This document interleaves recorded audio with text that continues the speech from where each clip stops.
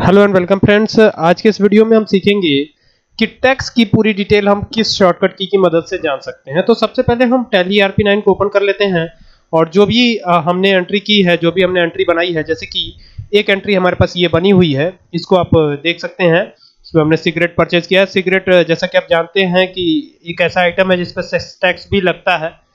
तो यहाँ पे सेस टैक्स भी लगाया गया है। अब अगर इसका टैक्स एनालिसिस हमें देखना है तो हमें क्या प्रेस करना होगा? अल्ट के साथ ए प्रेस करना होगा। तो यहाँ अल्ट के साथ ए प्रेस करेंगे तो टैक्स एनालिसिस दिखेगा हमें। और ये देखिए, ये टैक्स एनालिसिस हमें शो हो रहा है।